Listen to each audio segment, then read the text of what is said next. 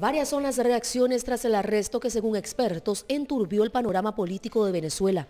El secretario general de la Organización de Estados Americanos, José Miguel Insulza, dijo que la detención del alcalde metropolitano de Caracas, Antonio Ledesma, ha provocado una fuerte alarma por la forma en que se llevó a cabo. Pero además, Insulza reiteró su llamado para que se detengan los hechos que aseguró conducen a una espiral de polarización que envuelve a la sociedad venezolana y que hace imposible la búsqueda de acuerdos con la voluntad de todos los sectores. Para los expertos, la medida contra el alcalde metropolitano, el segundo dirigente opositor apresado en un año, reduce las posibilidades de que se abran canales de consenso entre el gobierno y la oposición y presagia tiempos de mayor tensión. Esta preocupación la comparte también la secretaria estadounidense del Departamento de Estado para América Latina, Roberta Jacobson, quien a través de su cuenta de Twitter así se refirió a la captura del alcalde mayor de Caracas.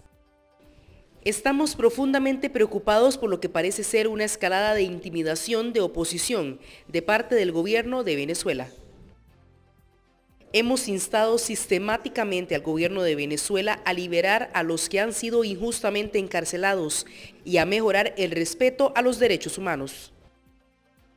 La única manera de resolver los problemas de Venezuela es a través de diálogo entre venezolanos, no intentando silenciar críticas. Y siempre en Estados Unidos el expresidente de ese país, Bill Clinton, envió también un mensaje a través de su cuenta de Twitter tras la detención de Ledesma para pedir la liberación inmediata de Leopoldo López y de otros presos políticos en Venezuela.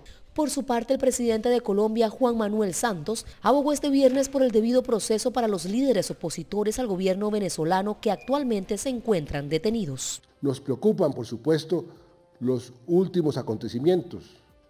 Hemos manifestado en privado y en público nuestro deseo de que los opositores, a los opositores se les respeten sus derechos.